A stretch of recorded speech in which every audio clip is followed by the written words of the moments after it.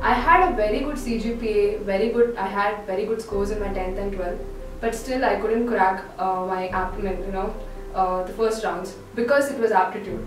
I was really bad in it, and I couldn't crack, and I couldn't, you know, appear for the next the other rounds.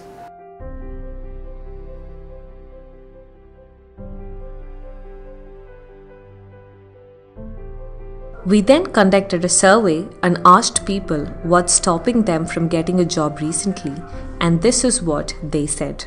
I've always focused on coding side of recruitment drives, but aptitude is something that I've always missed. I've missed uh, big opportunities to get into these tech giants because I missed aptitude. Having sat for many companies in placement, I couldn't clear the one first round, that is aptitude. Now, I, for four years in engineering, we all studied core subjects but not aptitude. And when you come to sit for companies, that's the first round I couldn't clear. I wish I had more resources so that I could practice efficiently and clear the aptitude tests.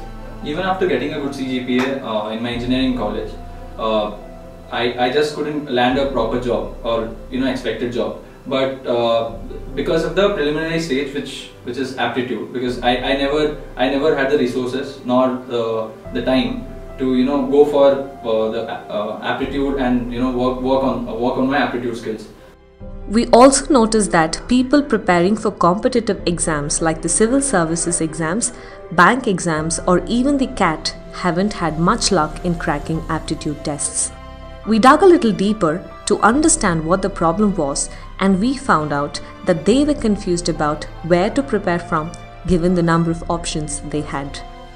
I didn't have the resources to prepare for aptitudes as much as I did for coding, and this has been my biggest problem. So, after getting rejected uh, in so many interviews, in the very first or preliminary stage, that is aptitude, uh, I tried getting better in that, you know, on my own without any resources which still which is still not cutting it.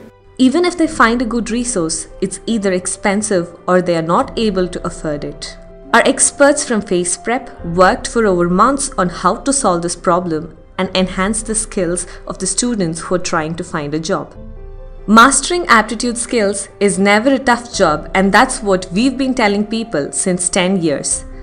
We have trained over 30 lakh students, and almost all agree with it we are finally here to show you what we've come up with. Aptipedia, the Wikipedia for aptitude. It's simple. You prepare by clicking knowledge base and practice using TestGym. Anything and everything under aptitude for free and forever. This is a revolution, isn't it? If you are watching this video, you are already a part of this movement. Just a step more we want you to support this campaign by clicking on the link below, scroll down and support with Facebook, Twitter and LinkedIn. Type hashtag Make India Employed and contribute. It's a matter of few seconds that can change a lot of people's life. Let's make India employed.